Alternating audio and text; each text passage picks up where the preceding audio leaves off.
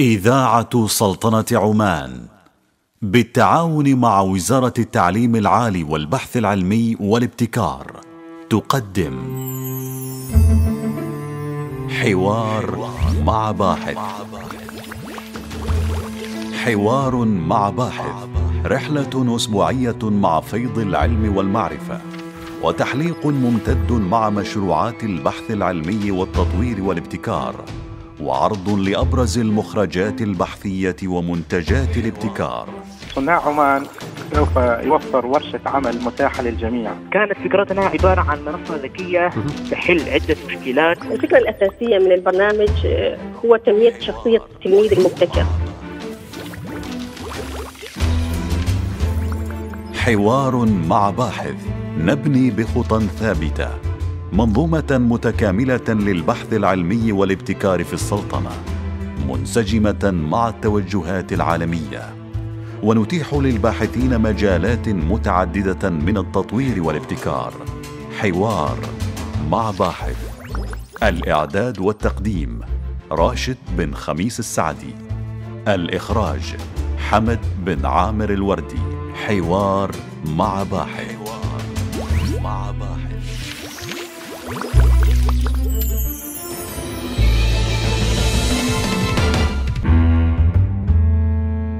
بسم الله الرحمن الرحيم. السلام عليكم ورحمة الله وبركاته.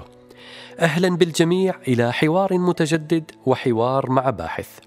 ضمن المشاريع البحثية لجامعة ظفار والممولة من وزارة التعليم العالي والبحث العلمي والابتكار وفي شراكة مع المؤسسات التعليمية بمحافظة ظفار شهدت الجامعة خلال الفترة الماضية بداية البرنامج التدريبي القائم على التعلم النشط لمهارات التميز والإبداع في الرياضيات والعلوم لدى طلبة التعليم الأساسي بسلطنة عمان. إذا الحديث حول المشروع البحثي التدريبي لتنمية مهارات التميز والإبداع لطلبة مرحلة التعليم الأساسي.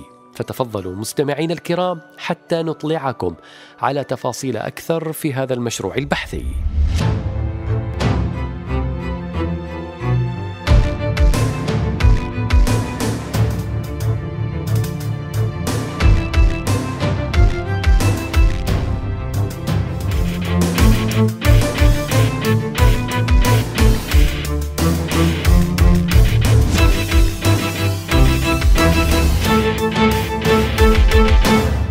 أهلا ومرحبا بكم مستمعين الكرام وأرحب بضيفي العزيز الدكتور عبد القادر محمد السيد وهو الباحث الرئيسي في هذا المشروع البحثي التدريبي لتنمية مهارات التميز والإبداع لطلبة مرحلة التعليم الأساسي. أهلا ومرحبا بك دكتور معنا في برنامج حوار مع باحث. يا أهلا وسهلا بكم جميعا. حياكم الله. ما الفكرة العامة التي يدور حولها هذا المشروع البحثي؟ والله الفكرة العامة للمشروع البحثي زي ما حضرتك عارف والأخوة كلهم عارفين. طبعا آه، إحنا بنعاني في الدول العربية بشكل عام. نعم. في تدني مهارات التميز ومهارات الإبداع خاصة في مجال الرياضيات والعلوم. نعم. والهدف الأساسي من هذا المشروع هو تنمية تلك المهارات لطلبة التعليم الأساسي في سلطنة عمان. فكرة المشروع طبعا جاءت من خلال تدني مهارات الرياضيات والعلوم خاصة في المسابقات الدولية زي التيمز وزي البيزا واللي اشتركت فيها معظم الدول العربية. طبعا نعم. البرنامج أو المشروع بتاعنا قائم على إعداد برنامج. هذا البرنامج برنامج متكامل قائم على مجموعة من الأدوات. متعلقة بتعليم العلوم وتعليم الرياضيات وده وفق فلسفة التعلم النشط استخدمنا من خلاله بعض النظريات القائمة على التعلم النشط زي آه، نظرية آه، النظرية البنائية وزي نظرية جاردنر للذكاءات المتعددة واستخدمنا من خلاله عدة استراتيجيات تدريسية زي الإثراء الوسيلي وزي استراتيجية الثقافات التعليمية. طبعا نعم. استخدمنا في البرنامج بنينا البرنامج بشكل عام كامل برنامج متكامل قائم على آه، فلسفة التعلم النشط لتنمية تلك المهارات وأخذنا وحدتين في العلوم والرياضيات آه، وبدأنا آه، نطبقها بالفعل على المدارس وعلى طلبة المدارس للصف الثامن الأساسي والحمد لله النتائج يعني في مرحلة التحليل الآن وبفضل الله النتائج مبشرة جدا يعني أحب أطمن حضرتك إن ممتاز. النتائج كانت مبشرة جدا لأن طبعا آه، إحنا. مرينا ببعض المعوقات أو بعض التحديات خلال التطبيق خاصة في العام الماضي لأن كانت معظم المدارس مغلقة بسبب جائحة كورونا نعم ف- فوزاره التعليم العالي مشكورة مددت لنا فصل دراسي آخر بحيث إن إحنا نقدر نطبق هذا ال ال ال ال البرنامج وأدواته بشكل مباشر على طلبة المدارس. ممتاز الفكرة العامة للمشروع. جميل إذا البرنامج التدريبي الذي قمتم بتنفيذه يهدف إلى تحديد مهارات التميز والإبداع في الرياضيات والعلوم لدى طلبة التعليم الأساسي والتعرف على مستوى تلك المهارات لكن ماذا عن الأدوات التي تم تطبيقها في هذا المشروع البحثي؟ طبعا في في استخدمنا في هذا المشروع البحثي بعض المواد وبعض الأدوات. بعض المواد التعليمية وده البرنامج الكامل اللي بيعكس آه، آه، رؤية كاملة لفلسفة التعلم النشط لتنمية تلك المهارات وانبثق من هذا البرنامج العام دليل للمعلم آه، لمعلم الرياضيات ومعلم العلوم دليل بيوضح تدريس الوحدتين اللي إحنا اخترناهم وفق فلسفة التعلم النشط لتنمية مهارات التميز والإبداع. واعتمدنا أيضا من ضمن المواد التعليمية نعم. على كتاب للطالب، يعني عملنا كتاب للطالب يبقى معاه آه، مكمل للكتاب ال- ال- المطبق له أو الذي يأخذه من قبل وزارة التربية والتعليم جميل آه، ده بالنسبة للمواد التعليمية اللي إحنا استخدمناها أما بالنسبة للأدوات اعتمدنا على أدوات آه، كثيرة جدا يمكن ثمان أدوات اعتمدنا عليها وهي عبارة عن استبيانات ممتاز موجهة للمعلمين. لمعلمي العلوم ومعلمي الرياضيات عشان نتعرف على مهارات التميز والإبداع الواجب توافرها لدى هؤلاء الطلاب وكذلك معرفة مستواهم مستوى المهارات دي بالنسبة للطلبة واعتمدنا أيضا على مقابلات مقننة مع عينة من المعلمين والمعلمات في المدارس واعتمدنا أيضا على اختبار في التميز آه، آه، آه، في العلوم والرياضيات اختبار في التميز في العلوم واختبار في التميز في الرياضيات وكذلك أيضا اختبار في الإبداع واختبار في للعلوم والرياضيات. ممتاز. طبعا هذه الاختبارات اختبارات مقننة تم تقنينها بشكل دقيق جدا واعتمدنا فيها على حساب الصدق والثبات وال ومراعاة كل ال ال النقاط ال- الموضوعية ونقاط الصدق والثبات ومعاملات التمييز ال- مراعاة الفروق الفردية يعني يعني تم إعداد تلك المواد والأدوات بناء على آه، آه، خطوات علمية آه، مقننة وخطوات علمية صحيحة بفضل الله تعالى نعم دي كانت أشهر طيب. أو أهم المواد والأدوات اللي إحنا استخدمناها طبعا في في إن شاء الله. بصدد بعد الانتهاء من تلك ال- ال- التحليلات آه، هنعمل نوع من ال- التطبيق ال- ال- ال- البعدي آه، آه، بعد فترة من الزمن عشان نشوف مدى بقاء أثر التعلم لتلك المهارات عند هؤلاء الطلاب بإذن الله تعالى. طيب هذا فيما يتصل دكتور بالطلبة ماذا عن المعلمين نعم. كيف سيتجه هذا ال- المشروع البحثي إلى المعلمين عبر إعداد دليل لهم يوضح لهم آلية تدريس مادتي الرياضيات والعلوم نعم. وفق النماذج وال- والاستراتيجيات المتصلة بالتعلم النشط نعم بالفعل بالفعل إحنا إحنا أعدينا دليل.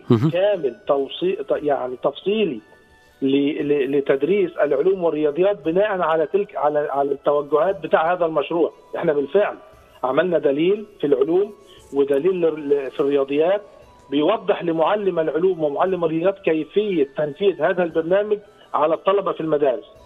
ويمكن جامعة ظفار حقيقه لا تبخل جهدا في هذا الموضوع. إحنا عملنا برنامج تدريبي لمدة أسبوع كامل. وكان الحمد لله له صدى ودعم كامل من المديرية العامة للتربية والتعليم في محافظة ظفار ودعم كامل من من إدارة جامعة ظفار حقيقة وعملنا هذا البرنامج في حرم جامعة ظفار آه، برنامج تدريبي لمعلمي العلوم والرياضيات المعنيين أو المستهدفين لتطبيق هذا المشروع البحثي. استضفناهم هنا في جامعة الظفار لمدة أسبوع كامل عملنا لهم ورش تدريبية كاملة من قبل الأساتذة المتخصصين في المجال وعملنا لهم جلسات تدريس مصغر آه، من خلالها آه، جربوا قدامنا وجربوا أمامنا كيفية آه، تطبيق هذه الأدلة وكيفية تطبيق هذه الأدوات وكيفية تطبيق هذه الاستراتيجيات وأعطانا لهم تغذية راجعة شاملة خلال هذا البرنامج التدريبي. وكان طبعا يعني أنا بشكر حقيقه في في هذا الموضوع إدارة جامعة الظفار على الدعم الكامل في هذا البرنامج التدريبي وفي المشروع بشكل عام وأخص بالذكر برضو حقيقة المديرية العامة للتربيه والتعليم في محافظة ظفار لأنها لم تبخل جهدا سواء في توفير المعلمين أو في تقديم الدعم المعنوي وحضورهم كاملين أو معظمهم ممثلين عن المديرية في هذا البرنامج التدريبي. ممتاز. طيب فيما يتصل بصناع القرار دكتور كيف سيتجه المشروع إلى صناع القرار في الحقل نعم. التربوي بإعانتهم لمتابعة أداء المعلمين والطلبة في هاتين المادتين. صحيح صحيح. طبعا إحنا إحنا بإذن الله تعالى بعد ما ننتهي من المشروع البحثي سنعد تقرير طبعا إحنا تبع ال TRC اللي هو مركز البحث العلمي العماني التابع لوزارة التربية وزارة التعليم العالي والبحث العلمي والابتكار نعم. طبعا إحنا بنعمل تقارير سنوية وتقارير فصلية عن مستوى التقدم في تنفيذ المشروعات البحثية الخاصة بنا. فبعد في كل بعد كل مرحلة بنعمل تقرير ونرفعه على موقع مجلس البحث العلمي العماني. وبإذن الله تعالى بعد ما ننتهي من هذا المشروع البحثي سنعد تقرير تفصيلي يرفع أيضا على على الموقع بتاع مجلس البحث العلمي العماني وفي نفس الوقت آه، سنرسله إلى وزارة التربية والتعليم وإلى وزارة التعليم العالي وإلى الجهات المعنية بعمليتي التعليم والتعلم في مدارس محافظة ظفار أو في مدارس السلطنة بشكل عام. يعني إحنا نحاول من خلال ممتاز. القنوات الشرعية الخاصة بجامعة ظفار لأن في وحدات آه، خاصة بالتواصل مع هؤلاء المؤسسات أو مع تلك المؤسسات سنعد تقريرا تفصيلي عن أهم المنجزات وأهم النتائج اللي إحنا توصلنا إليها نعم بحيث إن هذا ان إن صانع القرار آه، آه، في سلطنة عمان يبقوا على علم وعلى دراية بالمستجدات اللي إحنا عملناها ويستطيعوا أن آه، يطبقوا ما يرونه مناسبا في تحسين عمليتي التعليم والتعلم في السلطنة بأمر الله تعالى. نعم. طيب ماذا عن أبرز النتائج التي توصل إليها المشروع البحثي في دقيقتين دكتور؟ أبرز النتائج إحنا بالفعل يعني إحنا إحنا أنا قلت لحضرتك يمكن آه، في مرحلة تحليل النتائج الآن. نعم. يعني إحنا كان لأن كان الفصل الماضي زي ما أنا قلت لحضرتك ما تعذر التطبيق الحضوري فطبقنا البرنامج آه، أونلاين من خلال بعض الروابط الإلكترونية وتدريب المعلمين على ذلك. فوجدنا أن الاقبال الطلبة يعني ليس بالحجم اللي إحنا عايزينه. فلما إحنا طلبنا تمديد فصل دراسي الفصل الدراسي الحالي اللي إحنا فيه فالوزارة مشكورا لم لم تبخل في ذلك ولم تتأخر في آه، استجابة الدعوة لهذا التمديد وبالفعل مديت لنا فصل دراسي وطبقنا بالفعل هذا البرنامج آه، كانت ال ال ال الأسبوع الماضي كان آخر آه، أسبوع في تطبيق وحدة العلوم لأن إحنا كنا واخدين الوحدة الأخيرة نعم. في منهج علوم الصف الثامن الاساسي وفي مرحلة التحليل الآن لكن من خلال تحليل ال ال النتائج السابقة واللي إحنا طبقناها آه، أونلاين كانت بالفعل مهارات التميز والإبداع تميزت لأن إحنا كنا واخدين مدارس آه، قطاع عريض جدا من المدارس. اخذناها كمجموعة تجريبية وقطاع آخر كمجموعه ضابطة. فوجدنا تفوق آه، المجموعات التجريبية وطلاب المجموعات التجريبية في مهارات التميز والإبداع عن طلاب المجموعة الضابطة وكان مستوى الدلالة آه، يعني فعال وله أثر دال فعلا في تنمية مهارات التميز والإبداع. يعني بالفعل النتائج آه، وجدنا تميز وتحسن في مهارات ممتاز. التميز وفي مهارات الإبداع خاصة المهارات الخمسة الأولى نعم. في مهارات الإبداع. جميل نرجو لكم مزيدا من التوفيق ونشكركم على تواصلكم معنا في حلقة هذا الأسبوع من برنامج حوار مع باحث الدكتور عبد القادر محمد السيد شكرا جزيلا لك. أشكرك شكرا جزيلا وأتمنى لكم التوفيق والسداد وأتمنى للتعليم في سلطنة عمان النمو والإزدهار إن شاء الله. وأتمنى إن شاء الله المجتمع العماني في تقدم مستمر بإذن الله تعالى. شكرا لك دكتور وشكرا لكم مستمعين الكرام لطيب متابعتكم لنا لحلقة هذا الأسبوع التي خصصناها للمشروع البحثي التدريبي لتنمية مهارات التميز والإبداع في مادتي الرياضيات والعلوم لطلبة مرحلة التعليم الأساسي. في الأسبوع القادم لقاء آخر يجمعنا بكم وحوار مع باحث إلى الملتقى. حوار مع باحث حوار مع باحث. الإعداد والتقديم راشد بن خميس السعدي. الإخراج حمد بن عامر الوردي. حوار مع